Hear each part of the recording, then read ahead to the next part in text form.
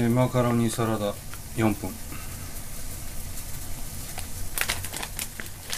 で男の料理旅です。マカロニサラダいきます。4分茹でますね、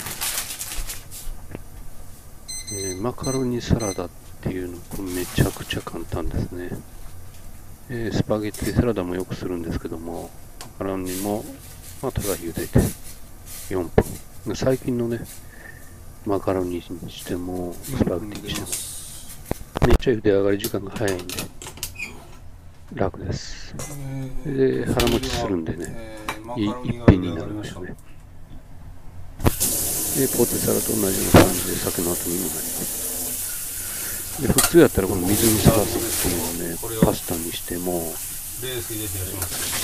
マカロンにしてもないんですけど、ね、私の場合はもう時間がね、え短縮したいんで、えほとんど水でさらせます。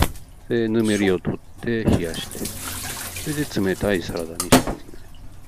これまあ邪道なのかもしれないんですけども、でここでね、水を切って、えー次にいつもの定番で、きゅうりにするで。これしてから、えーマカロン、冷えたマカロンと混ぜるんですけども、えー、きゅうりの他には、えーいつも使う、まあ、薄いね、えーロースハムみたいなの使う場合もあるんですけども、あの使いやすいのがね、ポールウインナー。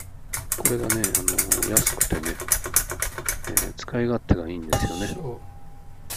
うん、これですね、ポールウインナー。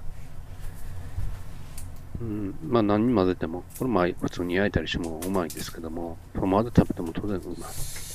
違いがあったらすごくいいので、まあ10本ね、セットで売ってるんです。これで一回こう、スライサーでいけるかなと思ったら、やっぱり飽きませんでしたね。なかなかそういう、まあ粘土質ですんでね、粘土があるんで、やっぱりあの、切らな飽きませんでした。で、ここはね、ちょっと失敗してしまう、お恥ずかしいところは失敗してしまいましたけども。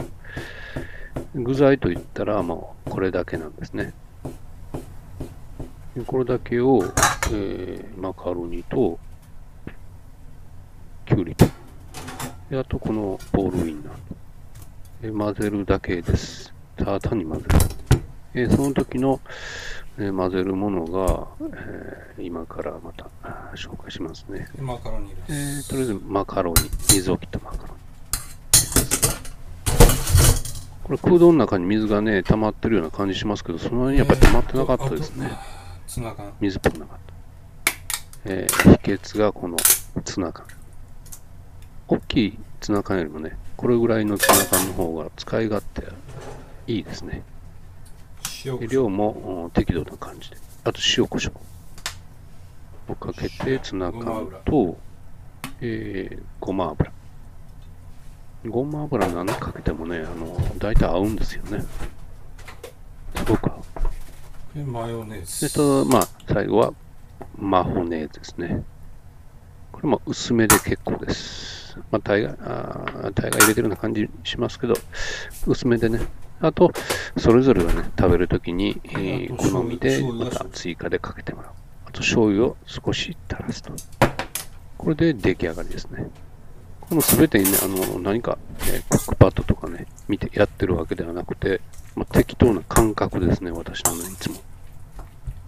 えー他でね、店とかとかけても、あのー見てもね、ほぼ、えー味付けもわかります。まあ、以上です。これからもね、あのー同じような動画ですけど、上げていきます。同じような感じですけど、飽きずに見てください。よろしくお願いいたします。えーもうすぐね、1000人登録者になります。皆さんご協力お願いします。それでは、またアップします。うまいうまい。うまいですよ。男の料理いいですね。以上です。